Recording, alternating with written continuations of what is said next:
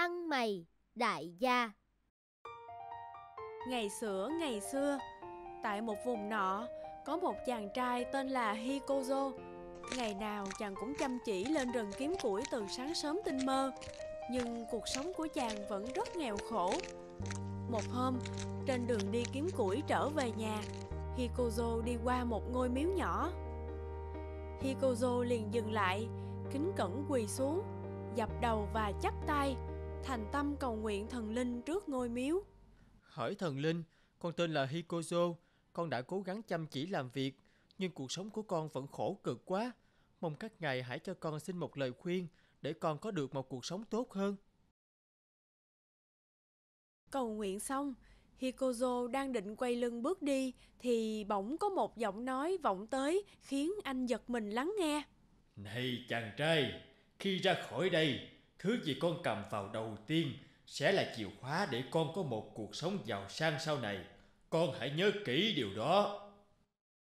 Hikozo nghe các vị thần linh nói vậy liền vui mừng. Vậy là thần linh đã nghe thấy lời thỉnh cầu của mình rồi ư? Con cảm ơn các ngài rất nhiều. Hikozo khấp khởi mừng thầm trong bụng, mừng rỡ chạy ra phía cổng miếu. Đang vội vã chạy thì anh bị vấp ngã sóng xoài ra mặt đất. Cú ngã khiến Kikozo choáng váng. Anh đưa tay lên gãi đầu, tình cờ thay, trên tay anh vướng một cọng rơm. Hikozo nhìn cọng rơm vẻ ngạc nhiên. Hả? Cái gì đây? Cọng rơm à? Hikozo liền nhớ lại lời dự báo của thần linh lúc nãy.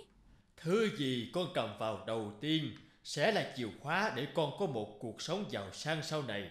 Con hãy nhớ kỹ điều đó. Nhìn cọng rơm trên tay, Hikozo thắc mắc. Cái cọng rơm này thì có ích gì chứ? Trên đường trở về nhà, vừa đi Hikozo vừa cầm cọng rơm trên tay phe phẩy, vẻ mặt đầy suy nghĩ. Một lúc sau, bỗng một con cánh cam từ đâu bay đến, đậu vào cọng rơm trên tay Hikozo. Dù chẳng có đuổi thế nào thì nó cũng không chịu bay đi. Cuối cùng, Hikozo quyết định buộc luôn con cánh cam vào cọng rơm rồi vui vẻ đi tiếp.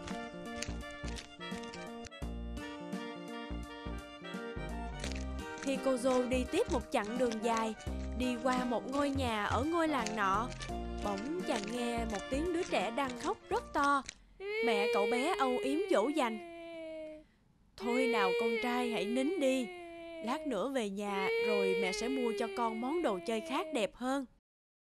Mặt người mẹ hết sức dỗ dành, cậu bé vẫn vừa khóc vừa lắc đầu. Không, con không chịu đâu. Cậu bé đang khóc lóc um sùm, thấy Hikozo cầm cọng rơm đi qua, cậu liền đưa ánh mắt tò mò nhìn theo. Lạ thay, cậu bé liền lập tức nín khóc, tươi cười chỉ vào con cánh cam đang đậu trên tay Hikozo. Cậu bé nói, Mẹ ơi, con muốn có con cánh cam đó. Người mẹ nhìn theo hướng chỉ của cậu bé, thấy Hikozo đang cầm cọng rơm và con cánh cam trên tay, bà liền gọi Hikozo. Này, đợi đã anh gì ơi! Hikozo ngạc nhiên quay lại đi đến gần hai mẹ con hỏi. Chị gọi tôi hả? Có chuyện gì vậy? Người mẹ nhã nhặn đề nghị Hikozo. Anh có thể nhường lại con cánh cam này cho con trai tôi được không? Nó rất muốn con cánh cam đó. Hikozo ngạc nhiên nhưng rồi lại vui vẻ. là con cánh cam này sao? Nó là của các vị thần ban cho tôi. Nhưng nếu chị muốn thì hãy cứ cầm lấy. Hikozo không chần chừ liền vui vẻ đưa cho cậu bé con cánh cam. Để cảm ơn Hikozo, người mẹ vội lấy trong tay áo ra ba quả quýt tươi cười cảm ơn. cảm ơn chàng trai tốt bụng. Anh vui lòng cầm lấy mấy quả quýt này để ăn dọc đường cho đỡ khát nhé.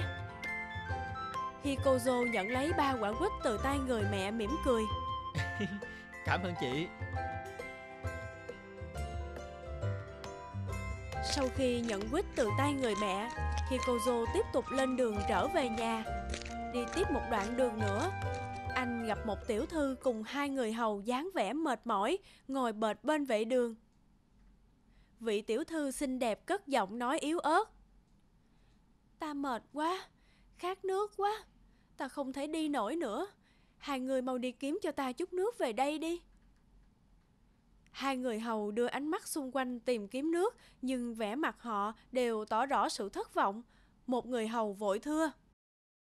Tiểu thư à, người cố gắng thêm một chút được không?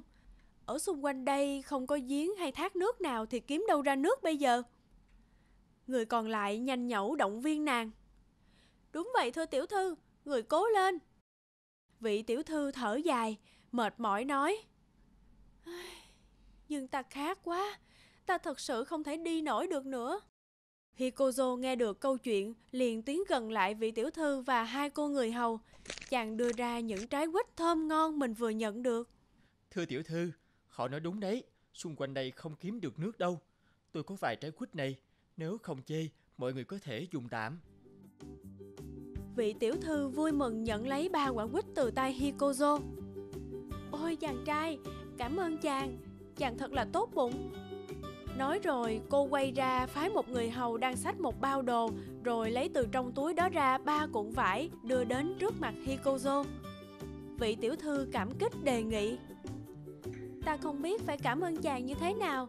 Chàng hãy cầm ba cuộn vải này thay cho lời cảm ơn của ta nhé.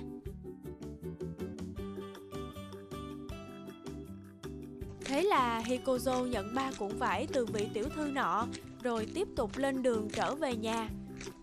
Đoạn đường tiếp theo chàng đến một bến sông Thì gặp hai người đàn ông đứng bên cạnh một con ngựa. Một người nói với người kia Trên thuyền đã được chất đầy hàng hóa rồi Chúng ta không thể mang theo con ngựa này lên được nữa. Người kia nhìn con ngựa rồi nói Chẳng lẽ chúng ta phải bỏ mặt nó ở đây sao? Ê, Đúng vậy Chẳng còn cách nào khác nữa. Hikozo vô tình nghe thấy cuộc trò chuyện của hai người đàn ông nọ Liền nảy ra một ý tưởng Chàng tiến tới đưa tấm vải ra trước mặt hai vị thương gia và nói Đây các ông, nếu các ông không phiền, xin hãy để lại con ngựa này cho tôi. Đổi lại tôi sẽ đưa cho các ông hết chỗ vải này, được chứ? Hai người đàn ông suy nghĩ trong giây lát rồi vui vẻ gật đầu À, được, chúng tôi đồng ý. Vậy thì con ngựa này từ nay sẽ là của cậu.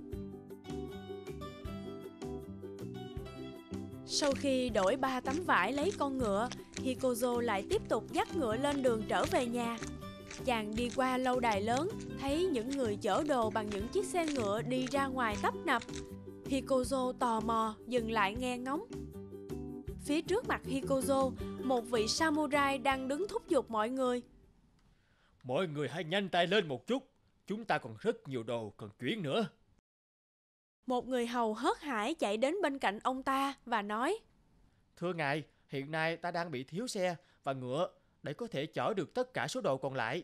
Nếu không tìm được xe và ngựa ngay bây giờ thì tôi e rằng chúng ta phải chờ thêm hai ngày nữa đấy ạ. Vị samurai lắc đầu Không được, hiện giờ chúng ta đã chậm trễ quá rồi, không thể chậm trễ hơn được nữa. Vị samurai đang nói chuyện với người hầu bỗng nhiên dừng lại, vẻ mặt ông ta vui mừng khi nhìn thấy Hikozo đang dắt ngựa. Vị samurai liền chạy về phía trước, tiến đến trước mặt Hikozo đề nghị. Này, chàng trai trẻ, hiện giờ ta đang có việc cần dùng ngựa rất gấp. Người có thể cho ta con ngựa đó được không? Hikozo ngạc nhiên chưa biết phải nói ra sao, cậu ấp úng. Ờ, tôi, ờ, tôi, ờ, ngựa của tôi ư? Vị samurai nói tiếp. Ờ, đúng vậy, chúng ta phải đi về miền Đông và cần một con ngựa khác để chở hành lý. Nếu cậu đồng ý, ta sẽ để lại căn nhà và ruộng lúa cho cậu chăm sóc cho tới khi ta quay về. Cậu đồng ý chứ? Hikozo vui vẻ trả lời. Ờ, tất nhiên là được rồi. Nếu ngài có việc cần thì cứ dùng con ngựa này đi. Còn nếu ngài cần một người ở đây giúp chăm sóc nhà cửa và ruộng lúa thì tôi sẽ sẵn sàng giúp ngài. Vị samurai mỉm cười. Cảm ơn cậu nhé, chàng trai trẻ. Kể từ hôm đó, Hikozo ở lại lâu đài để giúp trông nom và chăm sóc ruộng lúa cho vị samurai kia. Nhưng rồi nhiều năm sau mà vị samurai ngày nào từ miền Đông vẫn không quay trở về.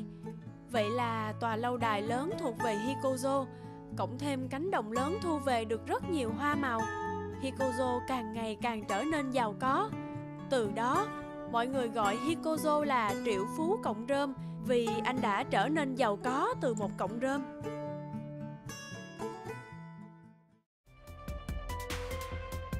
hãy like, comment, subscribe kênh để xem thêm những video mới nhất nhé.